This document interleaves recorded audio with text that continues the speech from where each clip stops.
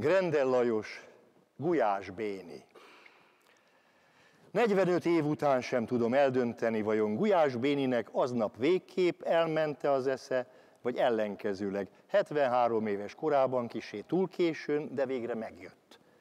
1969. augusztusa volt, méghozzá 21-e, és Gulyás Béni egy héttel ezelőtt temette el a feleségét, a nagy pofájú asszonyt, ahogy sokan nevezték, mert öregkorára olyan retteget lett, mint az ördöggel cimboráló, és azt a haragosaira uszító vénboszorkány. Márpedig nem volt egy ember, akire 65 éves korán túl ne haragudott volna, úgyhogy nagy kő esett le az emberek szívéről, amikor tíz napja a haláláról értesültek. Még Gulyás Béni is egyfajta megkönnyebbülést érzett, de azért nem mutatta, mert az özvegy férj nem mutogathatja csöndes örömét. Gulyás Béni a 13. utcában lakott, az utolsóban, mert az utca túloldalán már a napraforgók széles mezeje következett, vagyis a város leges legvégén, ahol a kisalföldi táj és a pár száz méterre odább a szőlőt termő dombok találkoznak, átadván a helyet az igazi dombvidéknek. Persze a 13. utcának volt hivatalos neve is, de ezt senki sem használta. Először egy szlovák hazafiról nevezték el, majd jöttek a magyarok 38-ban, és megváltozott az utca neve, Szent Sebestyénre keresztelték, de nem sokáig maradt. Jöttek ismét a csehszlovákok, és az utca egy másik hazafiról lett elkeresztelve, de csupán négy évig maradt. Akkor a kommunisták átvették a hatalmat, és a név újra megváltozott. Valami ősi kommunista nevet kapott, az egész város nem tudta, hogy kicsoda volt ez az illető. Szóval maradt a 13. utca, biztos, ami biztos, azt nem lehetett elfelejteni, mert az utolsó utca volt a város végében. Augusztus 21-én enyhe gyomorrontásom volt, legszívesebben az ágyban maradtam volna, de Gulyás Béni kért, szinte könyörgött, hogy ezen a napon nála aludjak, mert augusztus 21-én sok minden megtörténhet. Már ekkor jelentkezhetett az agyműködés zavara? Vagy inkább csak később, és 45 év távlatából már összekeverem a szezont a fazonnal? 1969-ben csak mosolyogtam, meg bosszankodtam, meg másodéves egyetemistaként csak gőgösen lenéztem az általam rohadtul beszari rokonságomat, köztük Gulyás Bénit is. Még nem múlt el 68 lángja. Az ember, közöttük én is, kiszámíthatatlan és szubjektív a végtelenségig. Hiszen már egy éve minden eldőlt, csak én és 20 éves egyetemista társaim nem akartak erről hallani sem. Az egyik énem azonnal pozsonyba akart menni, és nyíltan lázadni és lázítani, de a másik énem, a csöndesebb, a megfontoltabb már tudta, hogy hiába való az egész. Ez pedig az ősi törvény, a rossz még rosszabb lesz, és az ember behunja a szemét, hogy ne lássa a rosszat. Szóval ilyesmi is forgott az agyamban augusztus 21-én, de amúgy csak mellékesen, mert a gyomorrontás miatt rossz kedvem volt, ráadásul 21-e volt, és az emberek gyűlölték a szovjeteket, meg a lassan visszaáramló volt fejeseket, akik még nem ültek olyan biztosan a székeiken, de már biztosak voltak benne, hogy az új hatalomnak szüksége lesz rájuk. Meleg volt, mint augusztus 21-én egy éve, úgy látszik, az augusztus vége derült volt és fényes, mintha nem történt volna semmi, mintha az időjárás már más szempontok szerint állt volna össze. A történelemmel minden esetre nem törődött. A városban csönd honolt, az emberek vagy munkába mentek, vagy otthon tartózkodtak, és az otthon tartózkodók közül a bátrabbak még kimerték tenni a Dubcsekről és Szvobodáról készült fotómásolatokat az ablakba. De amúgy csönd volt a kisvárosban, mert nem itt dőlnek el a harcok. Legfőjebb szurkolni lehet a jónak, vagy amit jónak neveznek. Gulyás Béni rémülete meglehetősen groteszk volt, de hát az unokabátyám volt, segíteni kellett a megalapozatlan félelmén. Végig haladtam az első, a második, a harmadik utcán, itt-ott kakas kukorékolt és eb ugatott, Itt-ott járókelő jött velem szembe, a belvárosba igyekeztek nem túl sietősen. Minek is siettek volna? Már rég eldőlt a küzdelem, méghozzá az úgynevezett rossz javára. Köszöntem és visszaköszöntek. Tulajdonképpen a kisvárosban mindenki mindenkinek az ismerőse. Gulyás Béni már várt rám, pedig csak kilenc óra volt. Hol a fenébe mászkálsz, mondta idegesen. De hiszen még csak reggel van, igyekeztem megnyugtatni őt. Eszembe se jutott, hogy ennek a félelemnek más oka is lehet. Titokzatos oka, amiről csak a lélek mélyén tudja valaki, aki a legkompetensebb, vagyis ő Gulyás Béni. De vajon tudta-e? Évekkel később jutott eszembe, hogy talán ott kezdődött. Meg sem kérdezte, hogy eszem-e valamit. Nem mintha valami nagy étvágyam lett volna, éppen ellenkezőleg nem kívántam még a száraz kenyeret sem, de mégis úgy illett volna, ha már kifáradtam ide a világ végére, teljesen fölöslegesen.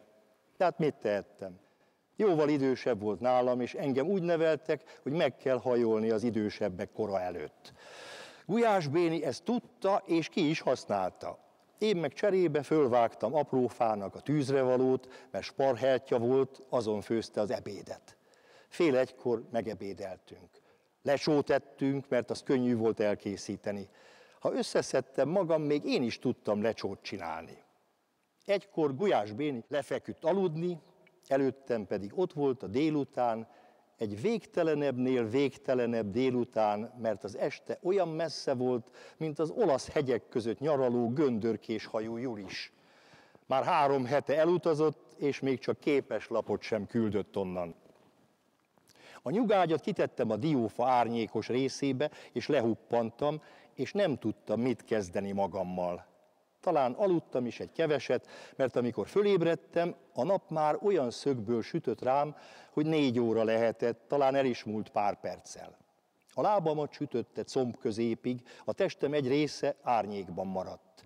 A végtelen napraforgó mezők lehajtották a fejüket, mint akiknek mindegy, hogy holnap szüretelik-e őket, vagy egy hónap múlva. Messze a szőlőtőkék között emberek jártak, de ez olyan messze volt, hogy már nem lehetett kivenni, hogy nőke vagy férfiak. Persze semmi hadicselekmény nem történt, végtelenül unalmas nap volt, mint az előzők, meg a még előzők, meg a következők és a rájuk következők.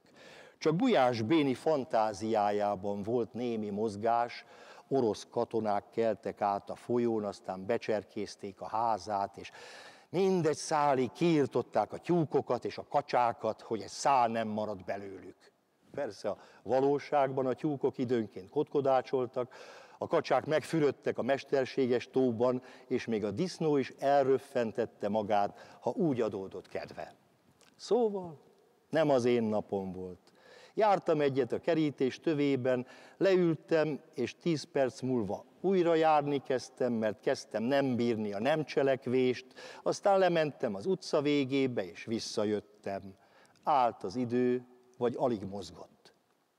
Egyszer csak Gulyás Béni letelepedett a kerítés tövében. Foszladozó gatya volt rajta, talán még a világháború idejéből, amikor még meg sem született. Azt mondta csöndesen, már nem jönnek az oroszok. Meglehetősen mérgesen feleltem. Hogyne, hiszen itt vannak már egy éve. Nem lett volna szabad ingerültnek lennem, de hát fiatal az ember, úgy húsz éves körüli, és még semmit nem tud az életről. Mindent tud, és semmit sem tud. De ez csak 10-20 év múlva tudja meg, amikor már egyre több ősz hajszál vegyül a kobakjában.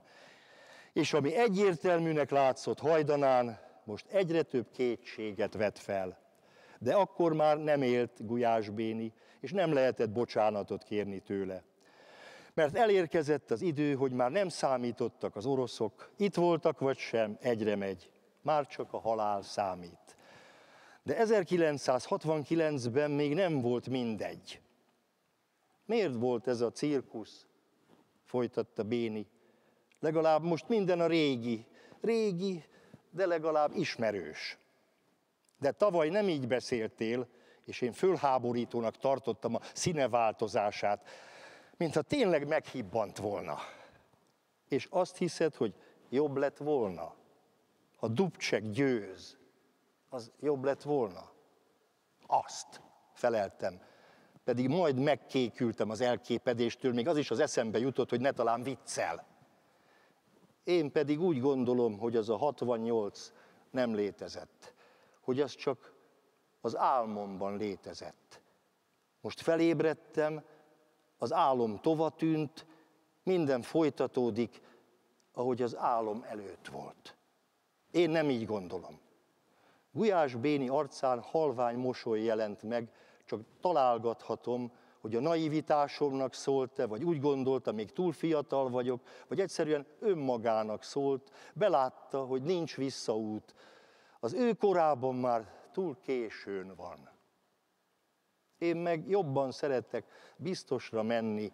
Végül is a diktatúrával is ki lehet egyezni, föltéve az ember már sokat látott. Én békében szeretnék meghalni.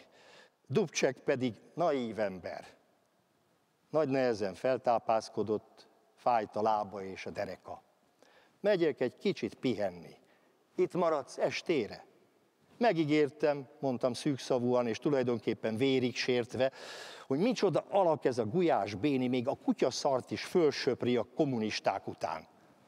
Na, ez tavaly volt, 1968-ban tette hozzá úgymond bölcsen, ma viszont ma van 1969, és a tavalyi év már nem érvényes. Nos, ma se tudom, hogy mikor kezdődött. Másnap, augusztus 22-én én majdnem délig aludtam, és kicsit furcsálottam, hogy nem jön a konyha felől semmi zaj. Holott, ha jól tudom, Gulyás Béni már nyolc után felkelt és megreggelizett, ami lábosok leverésével járt, hangos káromkodásokkal, ha oka volt rá, ha nem. Most viszont csend volt. Fél tizenkettőkor óvatosan benyitottam a szobájába. Jobban mondva, benyitottam volna, ám a szoba csukva volt. Ébrem vagy? kérdeztem aggódva, hogy talán Isten tudja, agyvérzést kapott, vagy mi. Mi a fene, te még itt vagy? kiabálta ingerülten. A legjobb lesz, ha most tüstént hazamész, mondta, és úgy beszélt, mintha telefonon értekezne, hangosan, mint a süket volnék. Szedtem a sátorfámat, és a következő percben már ott sem voltam. Még ragyogó nyár volt, a legkevésbé sem emlékeztetett augusztus végére, inkább a nyár elejére. Nem gondoltam semmi különösre, mert az a fickó, aki én voltam, húsz év körül járt, és eszébe sem jutott a kezdődő agylágyulás. Ha ugyan agylágyulásnak lehetne nevezni Gulyás Béni esetét. Évekig arra gondoltam, hogy itt kezdődött az Alzheimer kórja augusztus 21-én, ez a megállíthatatlan betegség, amely után a halál a megváltás csodájaként üdvözül. Olyan jó ezt így elfogadni, olyan megnyugtató, mintha a betegségből a halál hozna igazi megnyugvást. Csak az utóbbi időben öregen és erőnfogytán fogadom el, hogy lehetett ez másképpen is. Mert öreg lettem, mint a sivatag, a gyümölcsfák elszáradtak és elpusztultak, mindent belepett a homok. Lehet, hogy Gulyás Béninek mégis igaza volt. Jönnek a katonák és mennek a katonák. Hogy oroszok-e, vagy nem oroszok, mindegy. Gulyás Béni felfogta, hogy az ember 20 éves korában nyílik nagyra, és 70 éves korában ér el odáig, hogy egyé válik a fűvel és a pusztával.